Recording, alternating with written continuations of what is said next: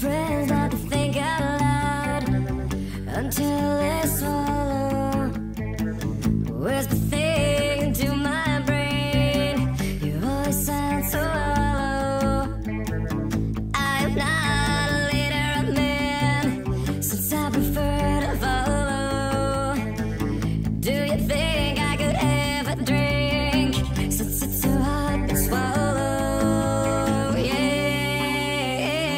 so